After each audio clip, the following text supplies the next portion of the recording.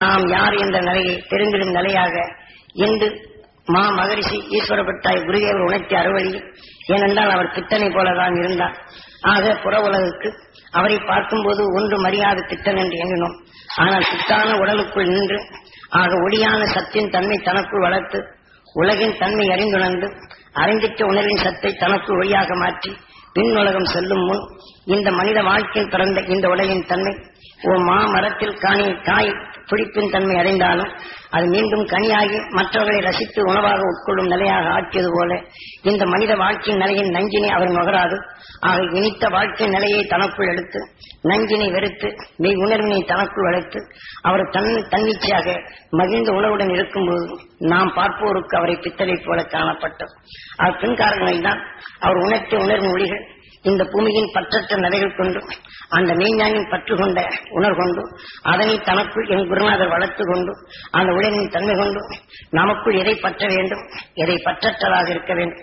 வெறுப்பு வேதனை குரோதம் வெறுப்பு கோபம் குரோதம் என்ற நிலையும் பிறரை நீக்கிடும் நிலையும் பிறரை அழித்திடும் உணர்வுகளை நமக்குள் அது இணைய விடையாது அதை வெறுத்து நமக்குள் பற்றுடன் வளர்த்திடும் அருண் ஞானியுடன் பற்று கொண்டு தீமைகள் நம்மை பற்றிலாது அதை காத்திடும் நிலையாக நீ எவ்வாறு இருக்க வேண்டும் என்றுதான் நான் பித்தலாக நான் என்னை பிறர் காணும் போது நான் பித்தனாக இருக்கின்றேன். அவர்கள் என்னை பார்க்கும்போது அவர் பித்தராக எண்ணுகின்றார். இந்த புவியின் ஆசை கொள்ளும் போது ஆனால் அந்த ஆசையை நிலை கொண்டு அவர்கள் பித்தராக இருக்கிறார் என்று அவர்கள் உணரவில்லை. ஆக நான் பித்தனாக இந்த உடலின் தன்மைக்கும் ஆக பித்துக்கொண்ட உடலின் உணர்ச்சிகளுக்கும் நான் அடிமையாகவில்லை. இந்த உணர்ச்சிகளை இவன் அடக்கி அந்த மெய்ஞான உணர்வை நாம் பெற வேண்டும் என்று அந்த பித்துப்பிழியாக தான் நான் இங்கு இருக்கின்றேனே தவிர இவர்கள் காட்சி இந்த உணர்வின் தன்மை இந்த உடலின் பித்துப்பிழியாக நான் இல்லை என்ற இந்த நிலைதான்.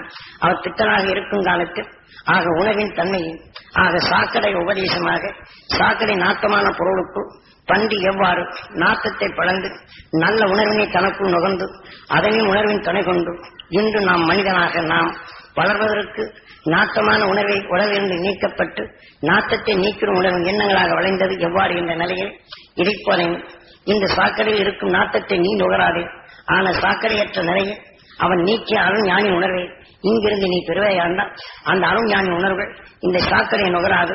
சாக்கடை நுகரச் செய்யும் சக்தி நமக்குள் அறியதான் உதவும். அது நமக்குள் விளையும் சக்தியாக விளையாது. சாக்கடை நீக்கிடும் நிலையாக உருகனை நிலை உட்கொண்ட உருகலை ஆனாலும் அந்த அருஞானின் உணர்வு உணக்குளரும் போது இந்த சாக்கடியான வாழ்க்கையில் இருக்கும் இந்த உணர்வினை நீக்கி மெய்ப்பொருள் கண்டுணரும் அந்த சக்தி நீ பெறுவாய். அதை பெறச் செய்வதற்கே இதை நான் இங்கே அழைத்தது. ஆகவே இந்த உலகம் எவ்வளவு சாக்கடையான நிலைகள் இந்த காற்று மண்டலம் இருக்கின்றது.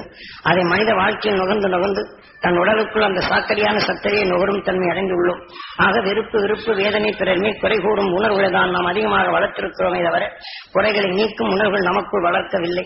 ஆக குறைகளை நீக்கிடும் தனக்குள் வரும் நாற்றத்தை பழந்த அந்த வராகனை போன்று பன்றி. அதை போல நாம் இல்லை நாம் பிறருடைய நிலைகளிலிருந்து குறைகள் கண்டுணர்ந்தாலும் அவர்கள் குறைகள் நீங்க வேண்டும். தெளிந்துணர்ந்து செயல்படும் உணர்வை நமக்குள் வளர்க்கும் போது இந்த உணர்வின் எண்ணங்கள் நமக்குள் வளைந்து நாம் சொல்லின் உணர்வுகள் அங்கே செலுத்தப்படும் போது அங்கே குறைகளை நீக்கிடும் சக்திகள் அங்கே தோன்றுகின்றது. ஆகவே நமக்குள் வரும் தீமையை அகற்றிடும். அந்த நிலையை நீ தீமைகளை அகற்றிடும் நிலையும் தீமைகள் உனக்கு புகாத நிலைகள் பெற வேண்டும் என்பதற்கேதான் இங்கே சாக்கடை அழைக்க சாக்கடைக்குள் அமர்ந்து கொண்டு உன்னை அழைத்தது நீ எதை நுகர்கின்றாய்? சாக்கடை நுகர்ந்து சாக்கடை என்று நீ உனக்குள் இருந்து நீ இந்த சாக்கடையிலே நுகர்ந்து ஐயையா ஐயையா என்று நினைக்கும் போதெல்லாம் உனக்குள் சாக்கடை வருகின்றது. இந்த சாக்கடை நீக்கிட வேண்டும் என்று எண்ணும் போது இதனுடைய நெல் உனக்குள் அந்த சாக்கடை நீக்கும் எண்ணங்களே வருகின்றது. இதை போல நீ யாரை கண்டாலும் எவரை கண்டாலும் அங்கு குறைகள் எதுவானாலும் அந்த மகிழ்ச்சியின் அருளை பெற வேண்டும் என்று உனக்குள் ஏற்றுக்கொண்டு அந்த மகிழ்ச்சியின் அருளை அவர்கள் பெற வேண்டும். அவர்கள் அறியாத இருவுகள் நீங்க வேண்டும். மெய்ப்பொருள் கண்வணர்ந்து செயல்பட வேண்டும் என்று நீ எதை எண்ணிவாய் என்றால் உனக்குள் அறிவித்த இந்த உணர்வுகள் மெய்ப்பொருள் காணும் நிலையாக வரும். ஆகவே நாம் இந்த மனித வாழ்க்கையில் நாம் பிறருடைய குறைகளை காண அது நமக்குள் அறிவிக்க செய்கின்றது. அறிவிக்க மட்டும்தான் அதை பயன்படுத்திக் கொள்ள வேண்டும். ஆனால் அதுக்கு அடுத்து நாம் பயன்படுத்தக்கூடாது.